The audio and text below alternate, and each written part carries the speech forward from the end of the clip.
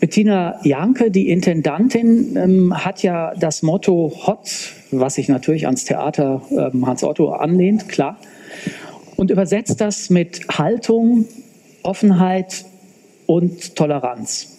In dieser Spielzeit, ähm, in der auch das Stück von Eugen Ruge aufgeführt wird, geht es um Haltung. Und uns geht es heute Abend um den Zusammenhang zwischen Haltung und Zukunft. Weiß, die Frage klingt vielleicht ein bisschen komisch, aber war die Zukunft früher besser?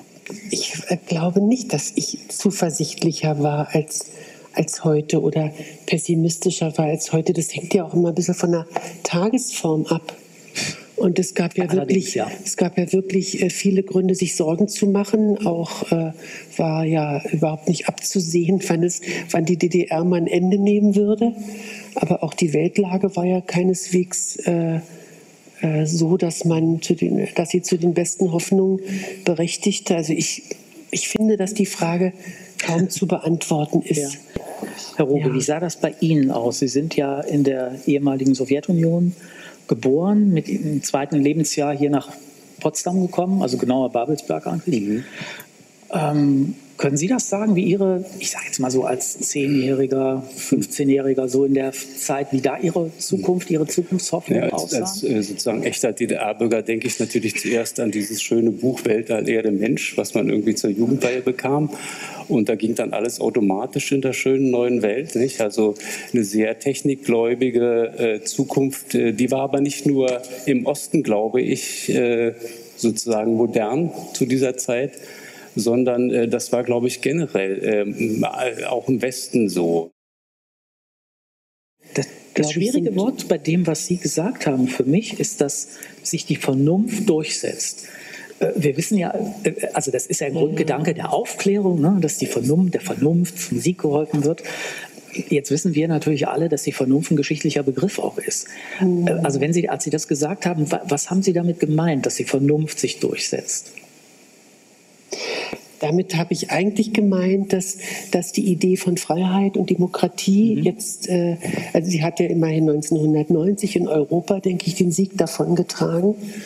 Und das äh, schien jetzt erstmal so eine, in die Zukunft so eine leuchtende Spur zu legen. Mhm. Ja.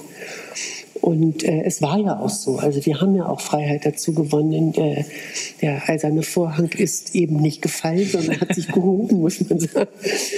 Und, ähm, und die Hoffnung war weit verbreitet. Das, dieses große Problem haben wir jetzt hinter uns.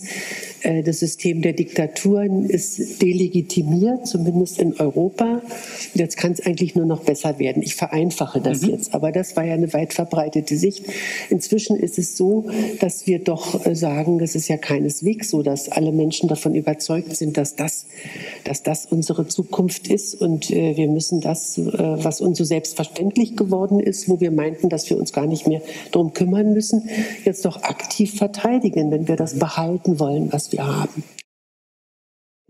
Selbst wenn wir die Zukunft planen wollten, ähm, gesellschaftlich gelingt uns das sowieso schlecht, aber auch technologisch gelingt es uns überhaupt nicht mehr.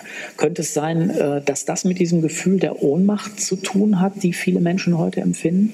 Diese Mobilität ist natürlich äh, die ist einfach, die ist einfach nicht lebbar im Grunde genommen. Also es ist tatsächlich so, äh, wir, wir müssen unseren, unseren Lebensstil ändern, glaube ich wirklich nur. Wir werden ihn nicht dadurch ändern, äh, dass wir jetzt, äh, dass wir jetzt irgendwie sagen, ihr dürft das nicht oder so, ja. Sondern es ist tatsächlich, es steckt schon, man muss irgendwo tatsächlich dann die Systemfrage stellen, glaube ich schon. Nicht? Ich weiß, das klingt komisch, weil wir haben den Sozialismus hinter uns und Volksfeinde wurden erschossen und alles Mögliche. Es war alles ziemlich schlimm, ja, keine Frage. Und trotzdem denke ich, man muss allen Ernstes darüber nachdenken, äh, was man anders machen kann. Herr Ruge, was meinen Sie damit, wenn Sie sagen, wir müssten die Systemfrage stellen? Ja, wir, damit meine ich, dass wir uns schon mal überlegen müssen, wie können wir Eigentum zum Beispiel so organisieren, äh, dass, dass das eben nicht so gefräßig ist, wie das jetzt im Augenblick ist. Dass das sozusagen, wie können wir Kapital auch regulieren? Nicht? Es ist eine idiotische Idee, dem Kapital zu erlauben, ohne jede Beschränkung, ohne jedes Hindernis von einem Land zum anderen zu ziehen durch die ganze Welt alles auszubeuten, alles zu verwüsten, verstehen Sie, dort Schaden zu hinterlassen.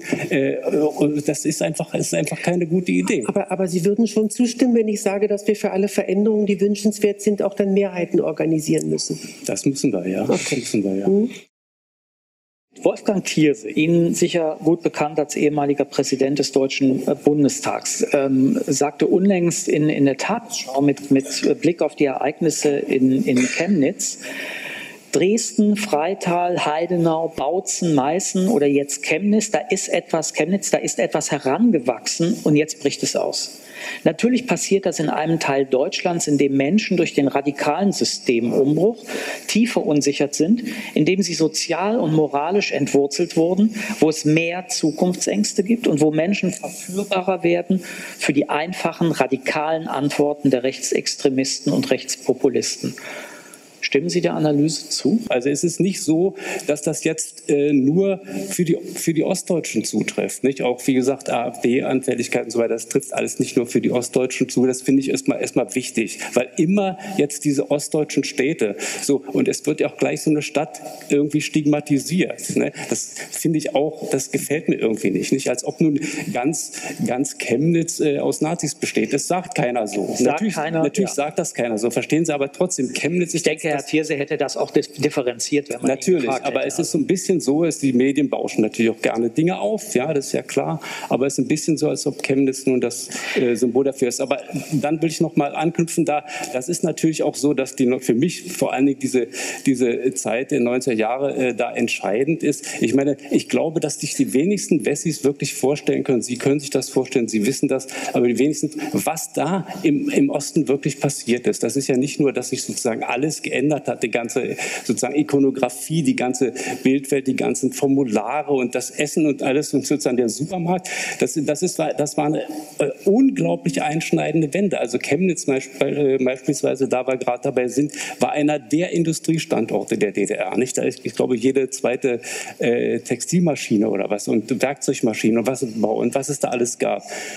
Und dann bricht das alles zusammen bricht das praktisch über Nacht. Ne? Da gibt's die Arbeitslosenquote in der DDR war damals, glaube ich, 15 Prozent, äh, in der Ex-DDR 15 Prozent offiziell. In Wirklichkeit waren es vielleicht 20, in Chemnitz vielleicht 25. Es gibt Leute, nicht. die sagen, die lag bei 50 Prozent. Äh, vielleicht lag sie bei 50 Prozent. Äh, da, das ist, Land wurde praktisch de deindustrialisiert und solche, äh, solche Gebiete wie eben Chemnitz ganz besonders.